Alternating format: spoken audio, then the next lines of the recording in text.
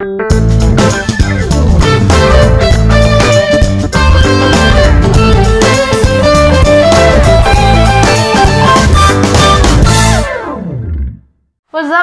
Ka-online? This is Joy and welcome to our channel Rajan Joy that talks about and review about gold jewelry. So, kung bago ka sa channel namin, mag-subscribe ka muna at i-click ang bell icon para maging updated sa aming latest video. For today's video, medyo matagal rin na hindi ako nakapag-vlog. Bakit nga ba? Medyo naging busy lang kasi sa online. At the same time, na-observe nyo, iba na yung kulay ng background ko kasi nasa ibang place kami. So, dahil lumipat kami for almost a month na rin, may git one month na rin kami dito, medyo nag-adjust lang kasi. So, nag-adjust parang naghanap ng timing pa, paano ba yung setup ng vlog dito. so, so ayun, for today's video, dahil matagal nang hindi nakapag-vlog, medyo marami na rin nangyari sa uh, presyo ng gold. So, pag-uusapan natin ngayon ang price update ng gold. Magkano na ba ang price ng gold sa mga shop ngayon sa Ungpin? At the same time, uh, dahil sumagsag pataas ang gold, uh, alam nyo ba na merong mabibili na mas mura na per gram? At bibigay kang rason bakit mas mura siya. At the, And the last thing na pag-uusapan natin ngayon is, bakit nga ba pag biglang tumaas ang gold, agad-agad nagtataas yung mga shop at pag nag-fluctuate, bakit nga ba hindi agad nagbababa ah, ng price yung mga shop? So, ang unang pag-uusapan natin ngayon is magkano na ba ang price ng gold ngayon? So, ang price ng gold ngayon, update lang natin ngayon, nasa 2.8 to 2.850. So, kaya mataas na rin ang bigayan sa mga online ngayon sa mga resellers na sa 2,850 to 29 to 2,950. So, wala nang 2,1, 2,2, 2,3 per gram. So, baka marami na namang ma-scam dahil naghahanap ng mura, 2,1, 2,2, 2,3. Meron pa nga nagtanong, 2,450, ganun. Wala nang price ngayon na 2,450. Mataas na masyado ang price ngayon. Okay? Pero, alam nyo ba na merong nagbebenta sa online na nasa 2,750 per gram lang. As in, 2,750 per gram. Yes, meron pong ganon. Kasi, ang rason lang naman dyan bakit 2,750 lang per gram is dahil ang item is subasta. Okay? You heard it right, subasta siya. So, sa mga walang idea kung ano yung subasta, ang subasta ay, ito yung mga second-hand items. Usually, galing ito sa sanlaan. So, example tayo, di ba? Kaya nga tayo bumibili ng gold kasi one of investment siya. So, pag nagipit tayo, pwede natin siyang isanla. So, pag nasanla siya sa pawn shop, in the long run, pag hindi siya natubos, naririmata.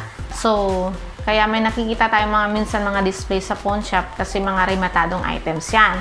So, kung bumibili sa mga pawn shop na mga hindi nilang nabebenta, binibili nila yan tapos bagsak niya sa subastahan. Okay? So, dahil napag-usapan natin na mura nga yung subasta, uh, bibigay ako ng advantage and disadvantage ng pagbibili ng subasta. Lahat naman kasi ng bagay, di ba? Merong advantage at disadvantage. Ang advantage ng pagbibili ng subasta is mura siya. So, mura siya ng usually 100 per gram. Pero minsan pumapatak 150. Kung suswertehin ka, papatak ka ng 200 per gram. Pero ang price difference lang talaga ng subasta sa brand new is 100 per gram. And, ayun, so, mura siya. The same time, merong mga subasta na rare items na hindi natin makikita sa mga brand new. And at the same time, uh, merong mga subasta na hindi talaga siya second hand. Yung iba, mga nalumang stock lang, kaya subast na babagsak na sa subastahan. So, meron iba dyan, kung swerte ka na asin bagong-bago pa talaga siya. So, yun yung mga advantage ng pagbibili ng subasta. So, punta naman tayo sa disadvantage. Ang disadvantage ng pagbibili ng subasta is um, ay minsan na yung item is may yupi na. So, minsan sa picture pa lang makikita mo ng may yupi, gaya nito. And, um, dapat maging metikuloso ka talaga pag bumibili ka ng subasta. Bakit paano ko nasabing metikuloso ka? Kasi aside minsan sa mga UP-UP na yan, ah, bibigyan na lang ako ng example, yung kwintas ni Ryan na suot. Sa kanya kasi wala siya dito. Meron siyang hinang. So, ito actually, kwintas ko na to is subasta rin siya. So, this is Japan Gold. Uh, I bought it 3 years ago yata or 2 years ago. So, ang price nito is 1.9 per gram, di ba? Ngayon is nasa 2.7 na yung bigayan ng mga subasta, 2.750. So, medyo malaki yung price difference na. So, dapat, pag bumibili ka ng kwintas, dapat uh, titingnan mo siyang mabuti. Kasi pag na-mislook mo, may time minsan na yung kwintas is may hinang na. Yung hinang is yun yung part na parang repair dahil pag naputol, hinihinang niyang kinakabit. Yun, may hinang na siya. Tapos pag sa kwinta, uh, pag sa hikaw minsan dito sa hikaw, pag yung pakaw, 'di ba ang tendency pag pakaw is nawawala minsan yung pakaw niya. So, minsan napapalitan yung pinakapakaw niya. Ang nangyayari niyan, pinapalitan minsan yung 18K, magiging 14, ang 21, nagiging uh, ah, 18K, eh kung minalas-malas ka pa, minsan yung mabili mo is yung pakaw is yung nasa fashion lang. Kasi minsan mahirap bumili ng pakaw na isa lang pag nawala mo yung pakaw. Same thing sa necklace. Minsan yung lock pa, usually kasi sa kwintas kung hindi yan mapigtas, nasisira yung lock, yung lock minsan is pinapalitan na rin. So, minsan yung, yun nga, yung 21 maging 18, eh kung minalas ka, yung pinaka-lock is napalitan nung fashion lang na lock. So, yun yung disadvantage. Okay? Uh, yun lang talaga yung nakikita kong disadvantage din pag bumibili ka ng subasta. Dapat lang talagang maging meticuloso dito. So, ito na lang yung tips ko sa mga kasi nga naghahanap tayo ng mura. So, yung way lang is sa subasta ito yung mga magandang bilhin sa subasta. So, ito yung mga tips ko. Yung bilhin sa subasta is yung mga solid na items. So, kagaya ng Japan na mga necklace, bracelet, mga sing-sing. At ang pinaka-the best na bilhin sa subasta is yung mga may diamonds kasi mas mura siya.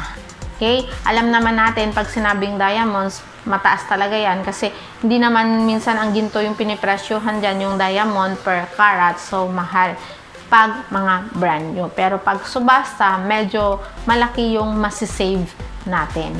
And ang hindi lang kasi natin minsan mahanap sa subasta rin is yung mga lightweight na mga items. Kasi pag lightweight minsan madaling masira. So walang gaanong lightweight na mga necklace sa subasta. Yung mga meron lang na lightweight sa subasta is yung mga pendant, mga earrings, yun. Yun lang.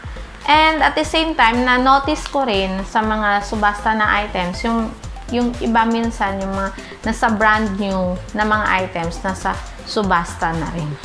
So, doon lang tayo makakatip. Tayo, pag maarte tayong tao, ayaw natin yung mga gas-gas-gas-gas, defect-defect, bakit naman tayo bibili ng subasta kung pwede naman sa brand new? Kasi nga, 100 per gram lang ang difference. It means, pag 2 grams yung bibili natin, uh, ah, 2 grams, it means, ang price difference lang ng subasta sa brand new is nasa 200 to 300 lang. So, bakit tayo magsusubasta kung maganda yung brand, di ba? So, yun lang. Nasa atin pa rin yun kung ano yung mas prefer natin, yung makamura tayo or kung doon tayo sa sigurado nating mga walang defect na brand new. So, last thing is, dahil sumagsag pataas ang gold, tapos biglang nag-fluctuate, bakit nga ba hindi agad nagbababa ng price yung mga shop? Kasi may reseller akong, may ilang reseller ako nagtatanong kung may price update na ba kasi biglang nag-fluctuate eh. So, ang sagot ko dyan is hindi agad nagro-roll back ang mga shop. Bakit? Kasi hindi rin agad nagro-roll back ang supplier. Ang supplier kasi talaga, guys, yung nagko-control ng pricing sa mga shop. So, gaya niyan sa amin, di ba, may shop rin kami. May kukunting stock kami. ang tinutubo lang talaga ng mga may shop is 50. So, swerte na pag merong 80. So, swerteng-swerte mo na kung meron kang 100 per gram. So, usually talaga 50 to 80. So, minsan, pag minalas-malas tayo, wala pa nga 50 yung tutubuin.